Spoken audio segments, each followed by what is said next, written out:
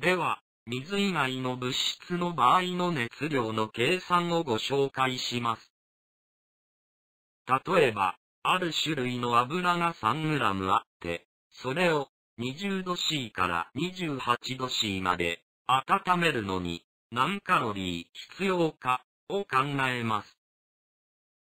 まず、ポイントを言いましょう。科学者たちの調査により、1g の油は温度を1度上げるのに必要な熱量が約0.5カロリーであることがわかっています。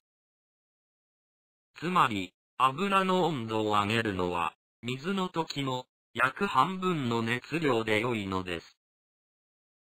よって、この場合の計算は、0.5×3g×8 度で12カロリーとなります。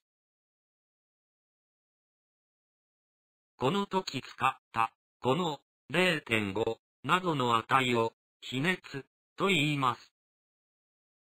つまり、比熱とは、その物質 1g を温度1度上げるのに必要な熱量のことです。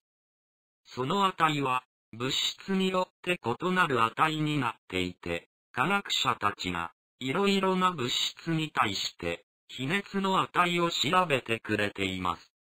よって、公式は、比熱かける質量かける上昇温度イコール必要な熱量となります。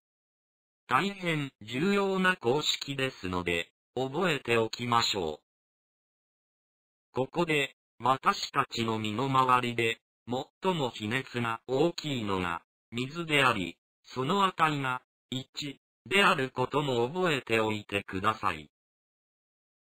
つまり、水は、とても、温まりにくい物質なのです。